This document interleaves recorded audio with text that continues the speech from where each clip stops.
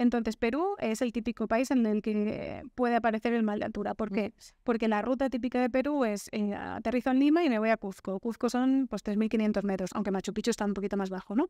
Es un país también que, que tiene pues otras alturas, ¿no? Como Puno, como la zona del Cañón del Colca y luego el Titicaca, son alturas altas. Si uno va de 0 a 3000, ¿no? Eh, puede tener mal de altura.